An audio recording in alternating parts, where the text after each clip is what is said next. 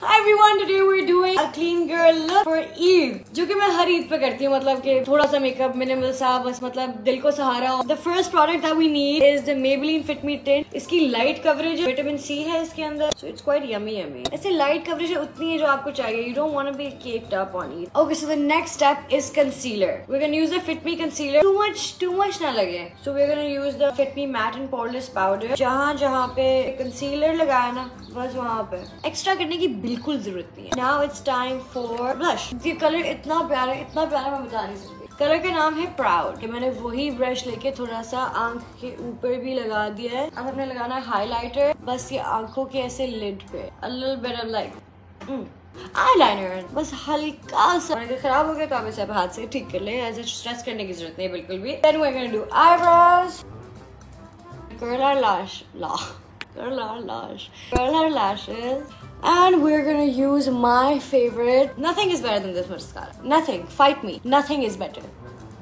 It is insane. Insane! I don't know, I was thinking I'd go with Wicked, but I want to go with something lighter. I think I'm gonna try Peachy. Shiny. And this is it. मुझे record करते हुए 10 minute हो गया. 10 minute makeup. So now I'm gonna go to change and do my hair. And I'll show you my final look.